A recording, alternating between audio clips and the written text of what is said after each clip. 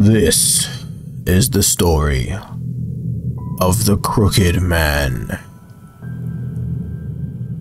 There was a crooked man who walked a crooked mile, and he found a crooked sixpence against a crooked stile.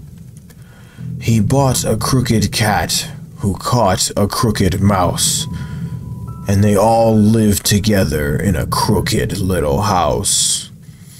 But the crooked man was sad, and once he had a thought.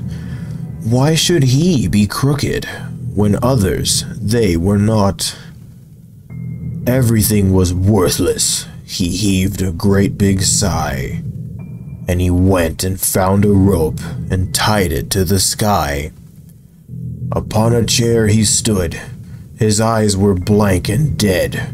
Without another thought, he went and hung his head. Now the story's not yet over, for this tale is mythed and old. Go hide under the cover. There's something not yet told. There once was a crooked man who had a crooked smile. And if you've lived his life, he'll send you through a trial.